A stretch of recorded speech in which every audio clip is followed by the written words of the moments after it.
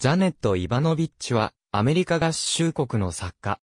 ステッフィー、ホール名義で短編の現代ロマンス小説でデビューしたが、名を知られるようになったのは、ステファニー・プラムが主人公のミステリシリーズからである。ステファニー・プラムは、ニュージャージー州、トレントン出身のランジェリーバイヤーで、後に失職し、バウンティハンターに転身する。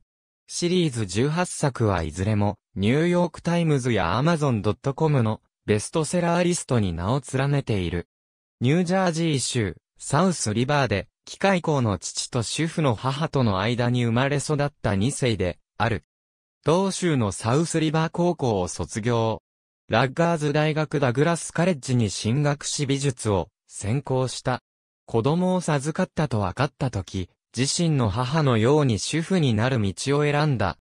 30代になると、小説の執筆をはじめ、会話文の書き方を学ぶために、即興劇のクラスを受講した。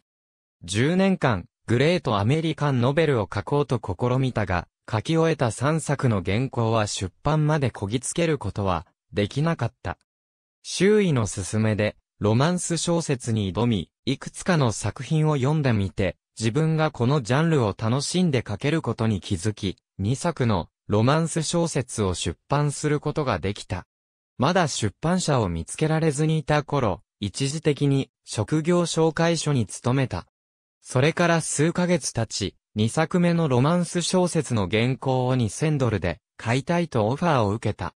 その時の彼女にとって2000ドルは大金であった。1987年にステッフィー・ホール名義で出版されたヒーロー・アット・ラージュは二度目の恋をテーマとした作品であった。翌年にはバンタム・ラブスウェプトに本名で作品を執筆した。それから5年間、ラブスウェプトにロマンス小説を書き続けた。ロマンス小説を書くうちに、好感を持てるキャラクターや、魅力的な男性を書く術を自然と学んでいった。この頃の彼女の作品はユーモアに満ちていた。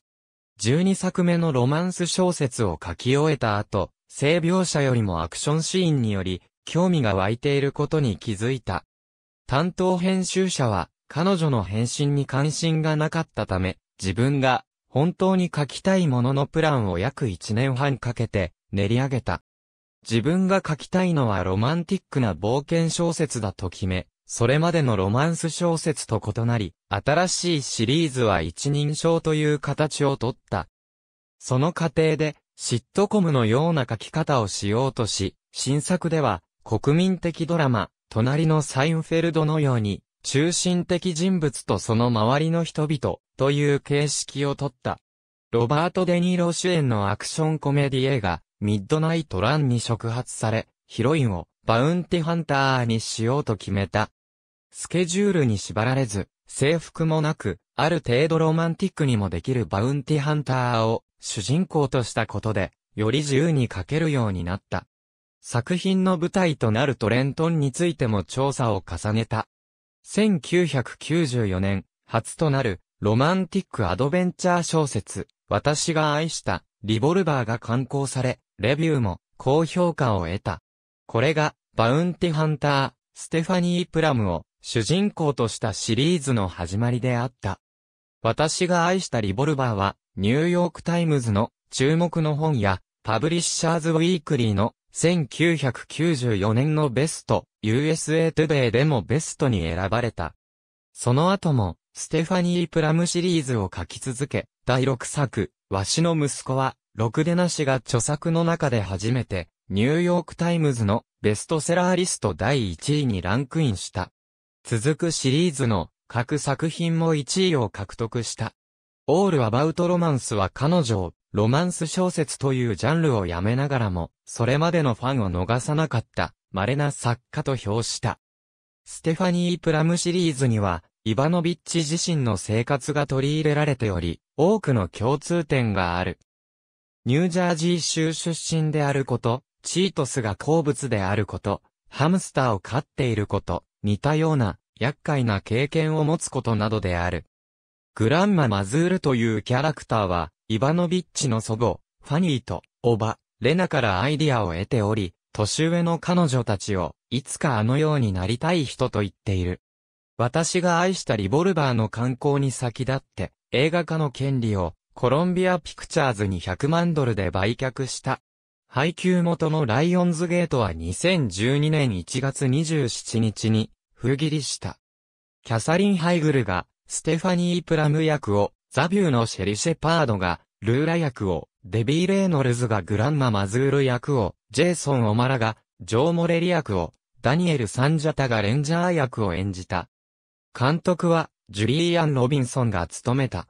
平日は1日8時間、休日は12時間余り仕事をする。